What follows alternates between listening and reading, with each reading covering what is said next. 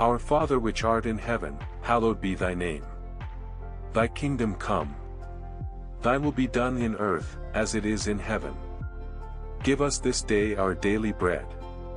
And forgive us our debts, as we forgive our debtors. And lead us not into temptation, but deliver us from evil, for thine is the kingdom, and the power, and the glory, forever. Amen. Blessed is the man that walketh not in the counsel of the ungodly, nor standeth in the way of sinners, nor sitteth in the seat of the scornful. But his delight is in the law of the Lord, and in his law doth he meditate day and night. And he shall be like a tree planted by the rivers of water, that bringeth forth his fruit in his season, his leaf also shall not wither, and whatsoever he doeth shall prosper. The ungodly are not so, but are like the chaff which the wind driveth away. Therefore the ungodly shall not stand in the judgment, nor sinners in the congregation of the righteous. For the Lord knoweth the way of the righteous, but the way of the ungodly shall perish. Lord, how are they increased that trouble me? Many are they that rise up against me. Many there be which say of my soul, There is no help for him in God. But thou, O Lord, art a shield for me, my glory, and the lifter up of mine head. I cried unto the Lord with my voice, and he heard me out of his holy hill. I laid me down and slept, I awaked, for the Lord sustained me. I will not be afraid of ten thousands of people, that have set themselves against me round about. Arise, O Lord, save me, O my God, for thou hast smitten all mine enemies upon the cheekbone, thou hast broken the teeth of the ungodly. Salvation belongeth unto the Lord, thy blessing is upon thy people. Plead my cause, O Lord, with them that strive with me, fight against them that fight against me. Take hold of shield and buckler, and stand up for mine help. Draw out also the spear, and stop the way against them that persecute me, say unto my soul, I am thy salvation. Let them be confounded and put to shame that seek after my soul, let them be turned back and brought to confusion that devise my hurt. Let them be as chaff before the wind, and let the angel of the Lord chase them. Let their way be dark and slippery, and let the angel of the Lord persecute them. For without cause have they hid for me their net in a pit, which without cause they have digged for my soul.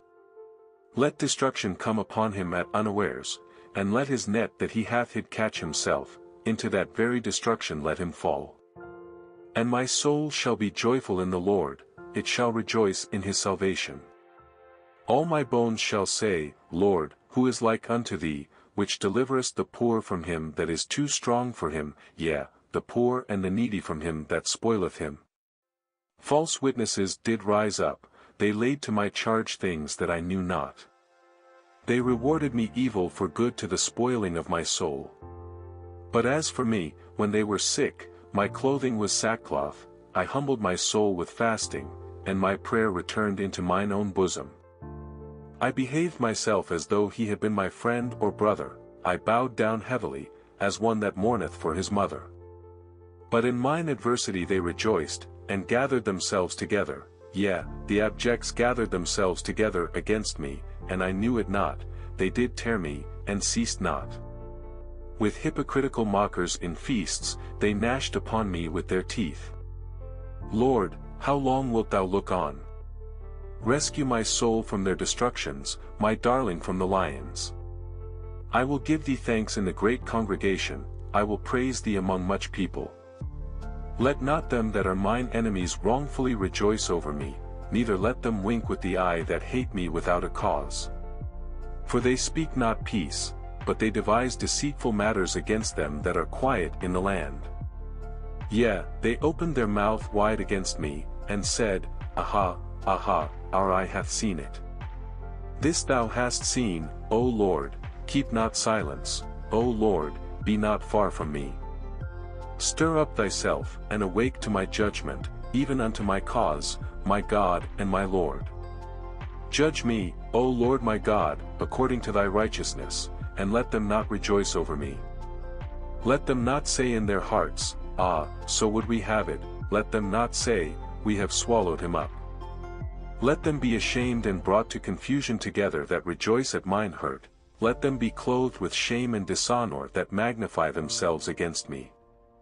Let them shout for joy, and be glad, that favor my righteous cause, yea, let them say continually, Let the Lord be magnified, which hath pleasure in the prosperity of his servant. And my tongue shall speak of thy righteousness and of thy praise all the day long.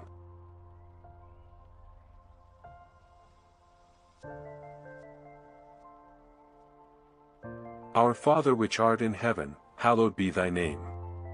Thy kingdom come. Thy will be done in earth, as it is in heaven. Give us this day our daily bread. And forgive us our debts, as we forgive our debtors. And lead us not into temptation, but deliver us from evil, for thine is the kingdom, and the power, and the glory, forever. Amen.